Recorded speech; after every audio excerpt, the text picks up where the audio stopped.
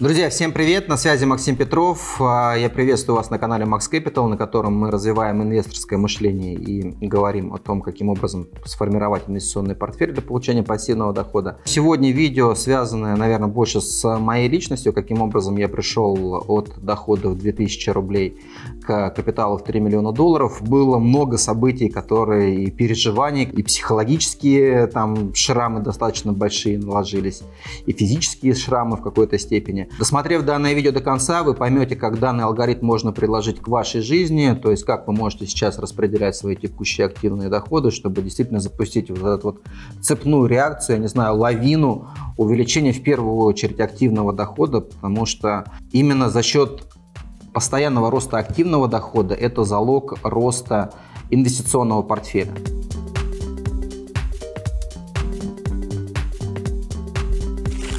Чего все началось. То есть моя первая заработная плата по договору составляла 2000 рублей после окончания института. Я работал обычным юрисконсультом. А, не сказать, что это был какой-то престижный вуз. Было юридическое образование непосредственно но при этом у меня была очень сильная преддипломная практика. Свою дипломную писал по правовому регулированию эмиссии ценных бумаг, и здесь я впервые столкнулся с ценными бумагами. Вообще ценные бумаги, в, наверное, в моей жизни, история, связанная с ценными бумагами в моей жизни, появилась еще в 96 году, когда я учился в Суворовском училище, и на самоподготовке по вечерам я прочитал книгу Теодора Драйзера «Финансист», где мне стала интересна вот эта история, понимание того, что если у тебя есть голова на плечах, что если ты хочешь развиваться, есть некий такой инструмент, фондовый рынок, где ты действительно не имея практически ничего, понимая, как устроена экономика, как работают рынки, можешь сделать значительный капитал. И вот первые зерна были заложены как раз-таки в период с 95 по 98 год. А, у меня был, назовем это, богатый папа, это брат мамы, да, который один из первых в России, в принципе, получил лицензию на брокерскую деятельность в Мэрил Линч в 95 году, он обучался в Америке. И поэтому получается, что мы с ним разговаривали, он был моим богатым папой, э, как у Киосаки, да, при этом назовем так бедным папом, это была семья моего отца, а, которая как раз-таки не принимала всего того, что происходит, ни приватизации, ни вот этих всех акций, ни МММов, жить очень-очень э, плохо, да, что купи дешево, продай дорого, это спекуляция, это не трудовой доход, это барыги, да, и заниматься этим не, невыгодно. И получается, что на меня, при становлении меня как личности, вот эти вот э, два направления как бы воздействовали. Один говорил, а, что плохого в том, что человек купил сникерс по 10 рублей и продал его по 15 рублей, а другие говорили, это плохо, да, что он купил по 10 и продал по 15. Богатый папа при этом говорил, ну подожди, а, он, во-первых, нашел, потратил время, ресурсы, возможности, где купить по 10. Второе, он нашел, кто согласен заплатить за это 15. И если эти в рамках своих предпринимательских способностей он нашел и то, и другое, почему он не может с этого получать какую-то определенную прибыль? Соответственно, когда я уже закончил институт, я пошел уже в аспирантуру на экономическую теорию, где как раз-таки уже более глубоко э, изучал судный капитал, который является основой а, рынка ценных бумаг, да, судный капитал в капитализме, экономическая теория. Очень благодарен своему научному руководителю. В итоге защиты у меня не было, кандидатом экономических наук я не стал. Но эти знания позволили как раз-таки устроиться в компанию «Тройка Диалог». В компании «Тройка Диалог» я впервые в жизни столкнулся с тем, что, возможно, мне повезло, но здесь было понимание у самих собственников компании, что компания, которая оказывает посреднические услуги на рынке ценных бумаг, основной капитал – это люди, которые там работают. То есть это не какие-то станки, это не какие-то средства производства. То есть основными средствами производства, создания вот этой вот прибавочной стоимости, создания вот этого value и прибыли для компании являются сами сотрудники, которые могут прийти, продать, при этом они должны эффективно управлять, чтобы и клиенты зарабатывали. Клиент декларировался как самая ключевая ценность, долгосрочное сотрудничество, готовность в короткую проиграть, но выиграть в долгосрочном периоде. И вот в этой философии происходило становление меня как специалиста. Меня очень хорошо обучали. Компания собственные деньги э, вкладывала в развитие. То есть, если говорить о том, что в 2005 году у меня заработная плата была 500 долларов, в месяц это было очень много для Казани, 500 долларов в месяц, потому что предыдущая заработная плата была 2000 рублей в месяц, то порядка 4000 долларов компания в год вкладывала вот в различного рода тренинги. То есть вызывали в Москву, были тренеры, где нас обучали и торговле, и фундаментальному анализу, и техническому анализу, и технике продаж, и работа с возражениями. В 2013 году, то есть вот, вот этот этап я столкнулся с тем, что у меня активный доход очень активно рос за счет того, что я эффективно продавал.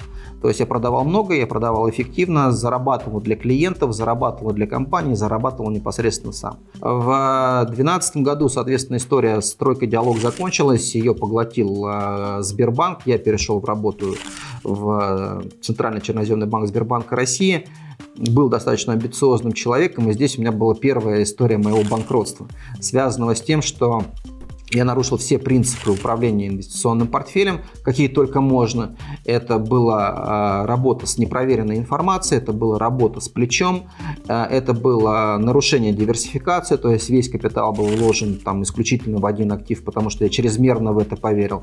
То есть, ну, все, что можно, все шишки, какие и ошибки, все, какие можно было только собрать, я собрал там в одной сделке. Про эту сделку уже много было сказано, можете на YouTube найти у нас на канале.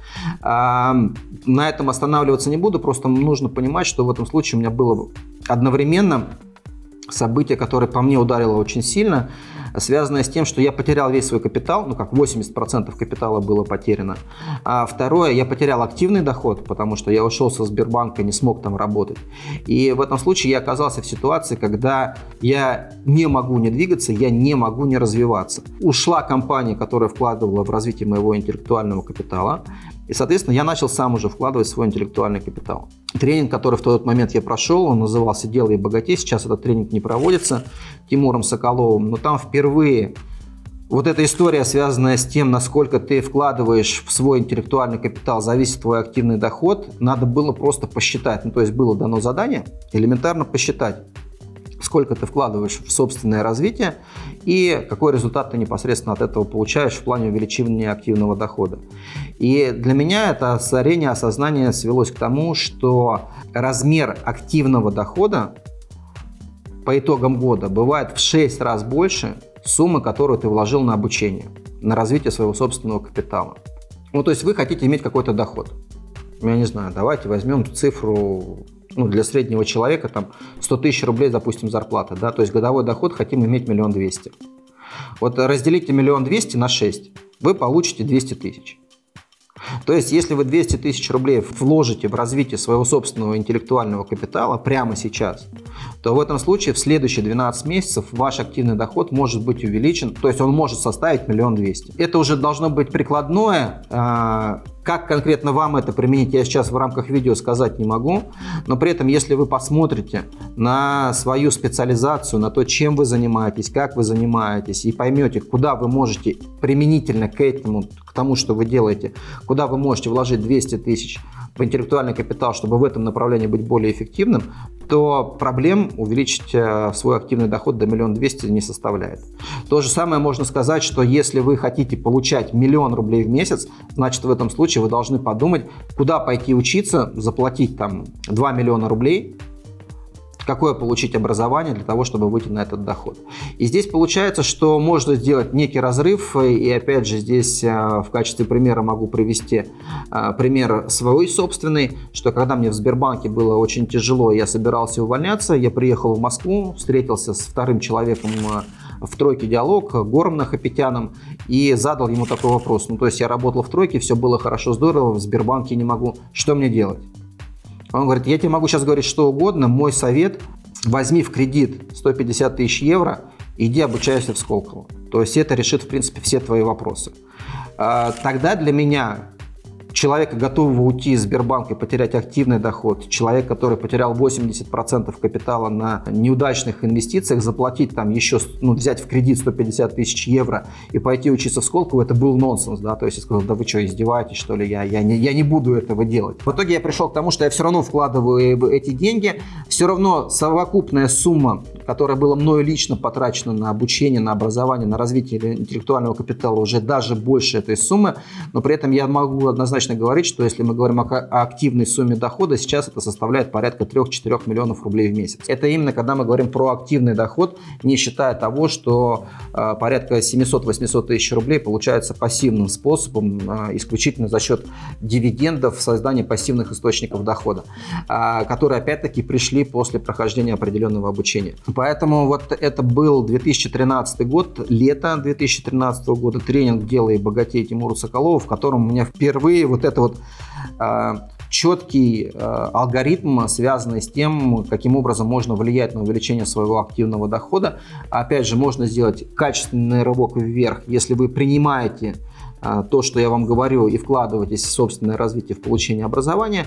И второй момент, это может быть постепенно. И постепенно это более плавный такой хороший качественный рост, который можно начать, как я чуть-чуть попозже расскажу, опять же, в этом видео. Друзья, напишите, сколько вы вложили в собственное образование, в развитие собственного интеллектуального капитала, интеллектуального капитала своей семьи а, в течение последних 12 месяцев. И сделайте это упражнение. Вы можете написать в комментариях, сколько вы непосредственно нанесли. Второе мое предложение заключается в том, посчитайте, сколько за последние 2-3 года вы в принципе вкладывали в развитие собственных знаний, навыков и умений, и как это соотнеслось с увеличением вашего активного дохода. А мы двигаемся дальше, э, и это была история, когда в 2013 году я начал выходить из первой ямы, связанной с тем, что был потерян активный доход, то есть у меня было создано, я купил франшизу, Э, открыл собственное дело бизнес, соответственно, я создал собственную школу образовательную. И третье, я пошел по пути независимого финансового советника, э, когда я, в принципе, не был привязан к какой-то конкретной инвестиционной компании, не работал непосредственно по найму, а я шел по пути того, что я был независимым а, консультантом, который смотрел на инвестиционные портфели состоятельных лиц с тем, чтобы, соответственно, давать э, финансовые советы, рекомендации, каким образом распорядиться своими активами, потому что тогда это было возможно, потому что не было ограничений по индивидуальным инвестиционным рекомендациям, работы финансовых советников, то есть такая возможность непосредственно была. К чему я в этом случае пришел, что если я работал в инвестиционной компании и вел где-то в среднем 50 человек, зарплата была порядка 200 тысяч рублей, а, и порядка такой же суммы это были где-то бонусы. Итого у меня итоговый доход, итоговый доход был порядка 400 тысяч рублей.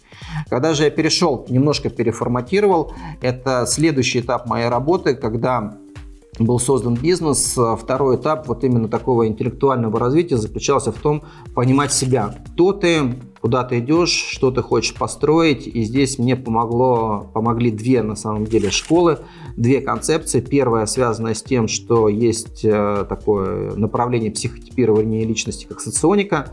Когда я встретился с людьми, пройдя вот именно психотипирование не в тестовом режиме на, на компьютере, потому что там очень сложно, скажем так, люди пытаются выглядеть лучше, чем есть на самом деле, и поэтому результаты тестов бывают некорректными. А это именно общение с двумя людьми, которые которые задают тебе вопросы, определяют твои сильные и слабые стороны сознания и подсознания и говорят, вот, вот это вот вам нравится, у вас получается в этом непосредственно сильная сторона, а вот это у вас никогда не получится, никогда вы здесь не будете сильным человеком, и в этом случае лучше этим не заниматься, а развивать вот эти вот направления. То есть, когда я понял, кто я, я понял, чем заниматься. То есть я не могу находиться там на, на жестком часовом графике с четким временным периодом. А, мне нужна свобода перемещения, передвижения. Мне нужны какие-то большие амбициозные задачи, за которые я получаю достойную компенсацию. И в то же время там Обратная сторона, да, связана с тем, что у меня теряется энергия, и в этом случае просто даже когда я пришел, все-таки вышел в работу по найму, работал уже в открытии брокере, то у меня были определенные условия по работе но при этом были взяты с моей стороны очень высокие обязательства, которых никто из региональных сотрудников непосредственно на себя не брал, и там, соответственно, у меня был активный рост дохода. Но и второе направление, это было связано с пониманием мозга, это нейронные связи, нейрофизиология. Здесь тоже был очень интересный тренинг, который как раз-таки позволил разобраться со своими ограничивающими установками, убеждениями, а, понять, кто я, что я хочу непосредственно построить. И самое главное, главное понимание, то есть что мне дал именно этот тренинг, он назывался тогда «Матрица перезагрузка», а, он для меня открыл историю, каким образом устроен наш мозг, как он работает, и Э, сейчас на самом деле гораздо проще получить эти знания. Книжка-ответ, я неоднократно про нее говорил. Книжка-ответ «Проверенная методика достижения недостижимого» Алана и Барбары Пис, суть которого заключается в следующем. Нам комфортно, и наш мозг устроен таким образом, что он всегда э, планирует от ресурсов. Что это значит? Это значит, что как, если у вас там зарплата 25-50 тысяч рублей, э, я начинаю говорить какие-то определенные вещи – а, и человек говорит, это нереально. Вот, Максим, тебе это возможно, да, а мне это нереально. Мне, чтобы прийти к капиталу в 3 миллиона долларов, то у меня сейчас зарплата там 25 тысяч рублей, то я к этому никогда не приду, потому что как мозг начинает думать? Он начинает смотреть на прошлый свой путь, как я пришел к зарплате в 25-50 тысяч рублей. Если человек работает, я не знаю, кассиром, где-нибудь, да, или там находится на зарплате водителем 50 тысяч рублей, то в этом случае он задается вопросом, если я работаю водителем на, и получаю там 50-100 тысяч рублей, как я выйду на миллион долларов? То есть я не могу этого сделать, работая непосредственно в такси. И получается, что начинаются вот некие такие барьеры ограничивающие, связанные с тем, что когда он находится в определенной точке сейчас, со своим текущим доходом, он понимает, как он в эту точку пришел.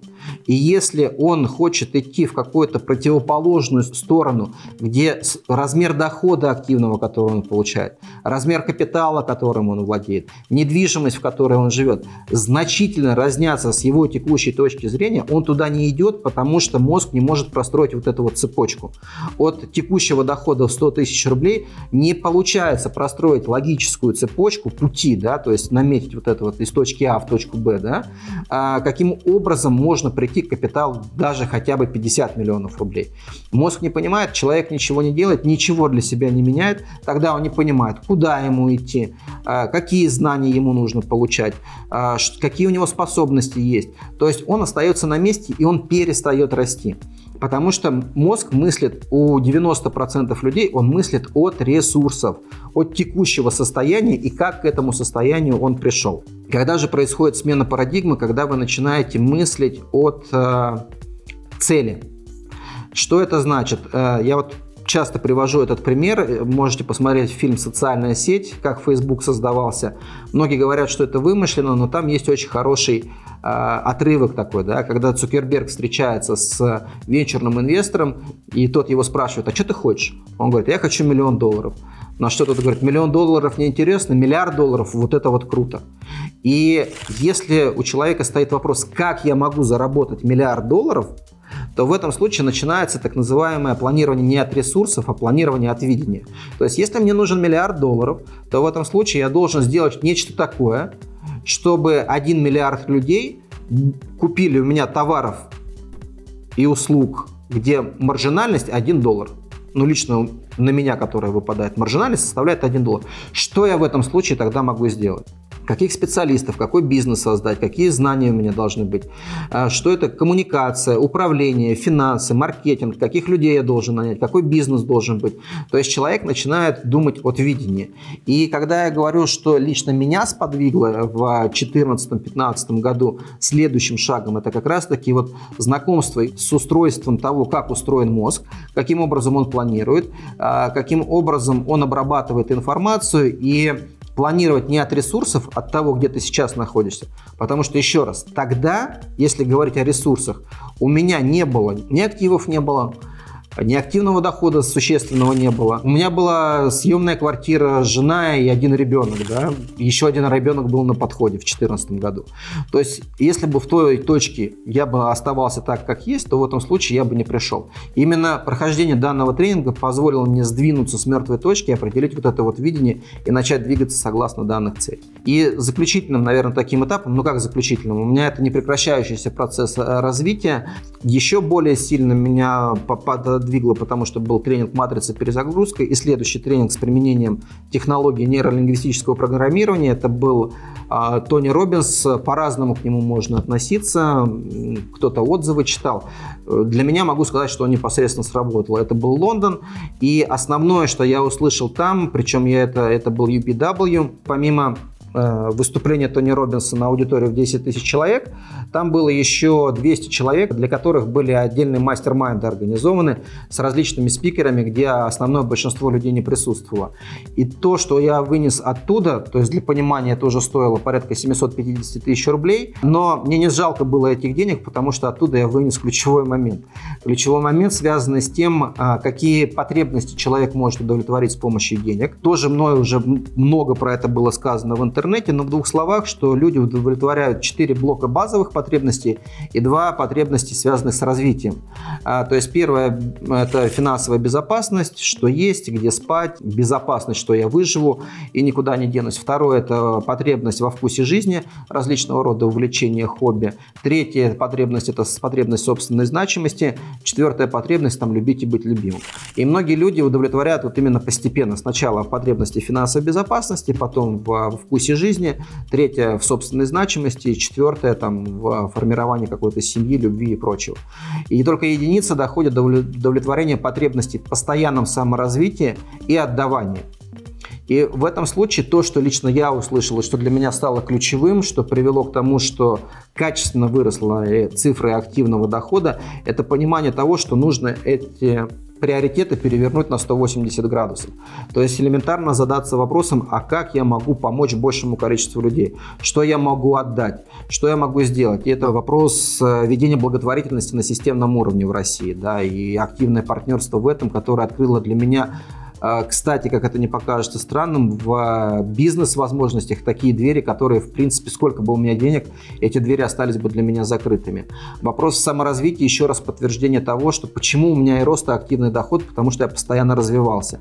И тогда, получается, базовые потребности, связанные, где жить, как жить, как перемещаться, а, собственная значимость, эм, увлечения различные, они автоматически закрываются, потому что ты полезен большому количеству людей, и ты создаешь для большого количества людей больше потребительской ценности. И получается, что она начинает некое такое самовозрастающее увеличение активного дохода. Я поделился данным, э, данным лайфхаком для вас абсолютно бесплатно, поэтому прошу лайк видео, чтобы ну, вот этот вот баланс даю, отдаю непосредственно был реализован. То есть как минимум поставьте а, лайк данному видео и внедряйте непосредственно в собственную жизнь. Резюмируя, а, каким образом прошел вот этот вот путь. То есть Первое, с чего, с чего начался путь, он заключался в том, что это понимание, осознание того, что если вы вкладываете в интеллектуальный капитал, вы можете рассчитывать на увеличение своего активного дохода в 6 раз, то есть это первый импульс к увеличению активного дохода. Второе – это понимание, кто вы, а, можете использовать различные школы а, типирования. То, что проходил лично я, я могу сказать, что это соционика, это а, human design, это теория векторного психоанализа, это процесс communication model, понимание структуры личности. То есть вот эти вот четыре элемента позволяют понять свои сильные и слабые стороны и вкладывать денежные средства, финансовые ресурсы а, в развитие интеллектуального капитала именно в том направлении, где у вас уже есть сильные стороны, и здесь нужно понять себя, кто ты непосредственно. После этого нужно понимать, что вы хотите построить, какую ценность вы можете создать для людей и создать эту ценность как можно большего количества людей и заниматься благотворительностью. И, и это тот алгоритм, по которому живу лично я, по которому которому я стараюсь сейчас развивать своих уже собственных детей. А, это алгоритм, по которому строится в том числе работа в закрытом клубе инвесторов, где я индивидуально работаю с клиентами, которые находятся у меня на сопровождении. И мы в первую очередь ориентируемся на первых порах на увеличение активного дохода, а потом уже на инвестиционной составляющей. Если сейчас говорить о том, каким образом распределяются мои собственные доходы, активный доход, то есть есть некое такое процентное соотнесение. Первое, что идет, то есть э, с общего дохода, который получаю, это касается и бизнеса, это касается и дивидендов, которые я с бизнеса получаю, заключается в том, что 10% направляется на благотворительность. Это первый платеж, помимо того, как что-либо еще, еще произошло. Второе, это 5% активного дохода, который непосредственно я получаю, направляются на развитие интеллектуального капитала. А, можно достаточно легко посчитать, что там 5% с 4 миллионов, это получается порядка 800 тысяч рублей. Это минимальная сумма, которая ежегодно вкладывается на развитие моего интеллектуального капитала. Я понимаю свои сильные стороны, которые нужно развивать, и здесь я стараюсь использовать именно наставников коучей уже, потому что суммы большие, это позволяет получить некую такую индивидуальную работу. Или если это образование, какие-то тренинги, это максимальные тарифы, связанные с индивидуальной работой, плюс э, сообщество людей, которые могут себе это позволить. А третье – это 10%, есть такое понятие «награди себя за профит». Э, очень важная история, которую очень многие умалчивают, которые начинают увлекаться накопительством, 10% тратить исключительно на себя, на свои хотелки, да, то есть это может быть там а, покупка автомобиля, это может быть путешествие, это может быть экспедиция, это может какая-то покатушка, то есть это вот внутренний ребенок, который внутри есть, он тоже должен получать вот это удовлетворение, то есть а, радовать непосредственно себя. 20% дохода позволяет комфортно жить всей моей семье, и 50% а, от общая сумма активного дохода направляется на инвестиции, на долгосрочные инвестиции. И именно данная схема плюс, опять-таки, развитие моего собственного бизнеса, расширение аудитории, а, с которой я работаю, влияние на эту аудиторию, донесение вот этих вот определенных лайфхаков, дача вот этой вот полезной пользы, ценности тоже, соответственно, требует определенных затрат, но это больше в бизнесе идет. По такому пути строятся мои расходы, я уверен на 99, наверное, процентов, если вы будете придерживаться данной схеме своих активных доходов, то увеличение капитала не заставит себя ждать. Как рост активного дохода, так и рост инвестиционной составляющей. И это первый момент. Второй момент заключается в том, что вы вообще перестанете париться по поводу того, в какой экономике живете, в какой стране живете, будет инфляция, не будет инфляции, упадут активы, не упадут активы. Когда у вас есть постоянно развивающийся интеллектуальный капитал, когда вы создаете, постоянно увеличиваете свою собственную ценность, на которую никто не может претендовать. То есть, если вы получили определенные навыки, они уже у вас никуда не денутся. Такая технология позволяет перестать париться за завтрашний день, знать, что вы всегда будете актуальны на рынке труда. Если вы создаете собственный бизнес и создаете ценность для других людей, люди готовы будут платить за большую долю ценности, которую непосредственно создаете.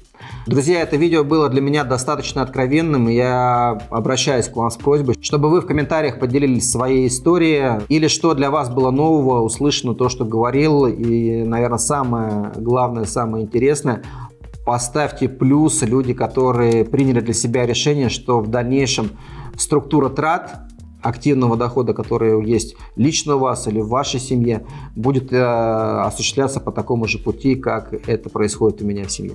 А также не забудьте подписаться на наш канал Max Capital, в котором мы говорим о, о развитии инвесторского мышления, формировании инвестиционных портфелях. Немного говорим об увеличении активного дохода. А, все. На связи был Максим Петров. До свидания и удачи.